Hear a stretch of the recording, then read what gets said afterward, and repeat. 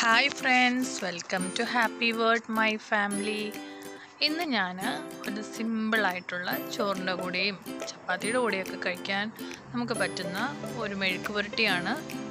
അതിനായിട്ട് ഞാൻ എടുത്തിരിക്കുന്നത് ബ്രൊക്കോളിയാണ്. ബ്രൊക്കോളി എങ്ങനെ കഴുകുന്നതെന്ന് വെച്ചാൽ നമ്മൾ ആദ്യം തന്നെ കുറച്ച് വെള്ളം ചൂടാക്കുക. അതിനകത്തേക്ക് കുറച്ച് ഉപ്പിട്ടിട്ട് നന്നായിട്ട് തിളപ്പിക്കുക. അതിനുശേഷം ഒരു രണ്ട് മൂന്ന് മിനിറ്റ് ഈ ബ്രൊക്കോളി അതിലേക്ക് ഇട്ട് വെക്കുക. അപ്പോൾ ആ വീഡിയോ എന്റെ ഇന്ന് സ്കിപ്പായിപ്പോയി അപ്പം ഇതിപ്പോൾ ഞാൻ ആ ബ്രൊക്കോളി ഇട്ടതിന് ശേഷമുള്ള വീഡിയോ ആണ് ഇട്ടേക്കുന്നത്. അതിനുശേഷം നമ്മൾ ഈ ബ്രൊക്കോളി എല്ലാം തന്നെ അതിനകത്ത് നിന്ന് മാറ്റണം. പാത്രത്തിൽ നിന്ന് മാറ്റുക. ഇതിന് ശേഷം നമ്മൾ നന്നായിട്ട് അതിന്റെ വെള്ളം ഒന്ന് കളയണം. പിന്നെ വേണ്ടത് ഒരു ക്യാരറ്റാണ് ഒരു ചെറിയൊരു സവോളയും. പിന്നെ രണ്ട് പച്ചമുളക് നല്ല എരിവുള്ള പച്ചമുളകാണ് എടുത്തേക്കുന്നത്. നമുക്കിതെങ്ങനെ തയ്യാറാക്കുന്നതെന്ന് നോക്കാം. അതിനായിട്ട് ഒരു ഫ്രൈ പാൻ വെക്കുക. അതിലേക്ക് കുറച്ച് വെളിച്ചെണ്ണ ചേർക്കണം. ഇനി ഇതിനകത്തേക്ക് നമുക്ക് അരിഞ്ഞു വെച്ചിരിക്കുന്ന സവോളയും അതുപോലെ തന്നെ പച്ചമുളകും ചേർത്ത് കൊടുക്കാം.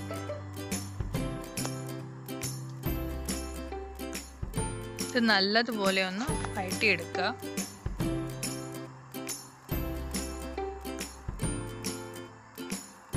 ഞാൻ ഇതിനകത്തേക്ക് കുറച്ച് ഉപ്പും കൂടെ ചേർക്കുകയാണ്. നന്നായിട്ടൊന്ന് വഴണ്ട് വരാനായിട്ട് കുറച്ചും കൂടി ഉപ്പ് ചേർത്തു. നിങ്ങൾക്ക് വേണമെങ്കിൽ ഒരുമിച്ചും എല്ലാം കൂടെ ചേർക്കാം. ഞാൻ ഇവിടെ എടുത്തിരിക്കുന്ന പച്ചക്കറി എന്ന് പറയുന്നത് ബ്രൊക്കോളിയും ക്യാരറ്റുമാണ് അത് കൂടാതെ ബീൻസും ഒക്കെ ചേർത്ത് കൊടുക്കാം.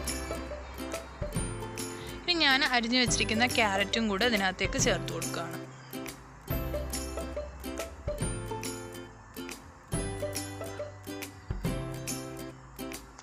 ക്യാരറ്റ് ചേർത്ത് നന്നായിട്ടൊന്ന് വഴറ്റിയെടുക്കുക. ക്യാരറ്റ് ഒന്ന് നന്നായിട്ട് വഴണ്ട് വരുമ്പോഴത്തേക്കും നമുക്ക് ബ്രൊക്കോളി ചേർത്ത് കൊടുക്കാം. ഞാനിപ്പോൾ കുറച്ച് വലിയ പീസായിട്ട് തന്നെയാണ് എടുത്തിരിക്കുന്നത്. ഒന്ന് വെന്ത് വരുമ്പോഴത്തേക്കും നമുക്കിത് ഉടച്ചു കൊടുക്കാവുന്നതേ ഉള്ളൂ. നിങ്ങൾക്ക് ഇങ്ങനെ വേണമെങ്കിലും എടുക്കാം. അതല്ല എങ്കിൽ ചെറിയ ചെറിയ പീസായിട്ട് നല്ലപോലെ അരിഞ്ഞും ഇത് ബ്രൊക്കോളി ചേർത്ത് കൊടുക്കാം.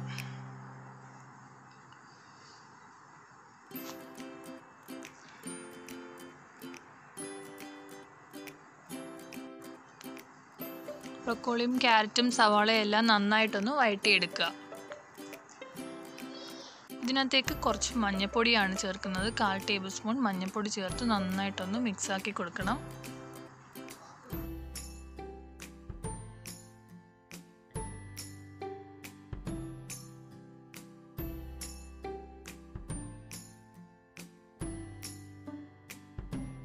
ഇനി ഇതിലേക്ക് ഒരു ടേബിൾ സ്പൂൺ മുളക് പൊടിയാണ് ചേർക്കുന്നത്. ഒരു ടേബിൾ സ്പൂൺ ഇല്ല ഒരു മുക്കാൽ ടേബിൾ സ്പൂൺ മുളക് ഉണ്ട് നിങ്ങൾക്ക് ഇതിന് പകരം കുരുമുളക് പൊടി വേണമെങ്കിലും ചേർക്കാം. നല്ലൊരു കളർ കിട്ടാൻ വേണ്ടിയിട്ടാണ് ഞാനത് ചേർക്കുന്നത്. ഇതിന് പച്ചമണം മാറുന്നിടം വരെ ഒന്ന് നന്നായിട്ടൊന്ന് വഴറ്റി കൊടുക്കണം. ഇതിന് പകരം കുരുമുളക് വേണമെങ്കിലും ചേർക്കാം.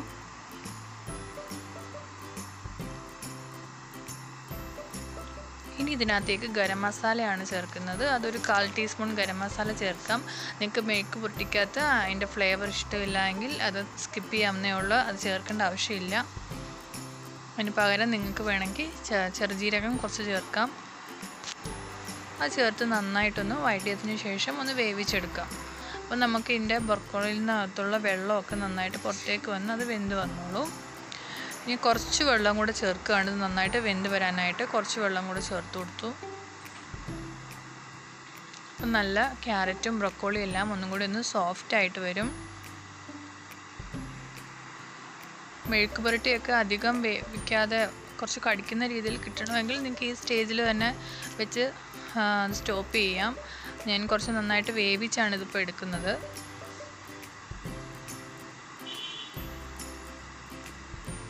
ഈ സമയത്ത് അത് വെന്തതിന് ശേഷം ഞാനിതൊന്ന് ഉടച്ചു കൊടുക്കുകയാണ്. ചെറിയ ചെറിയ പീസാക്കി എടുക്കുകയാണ്.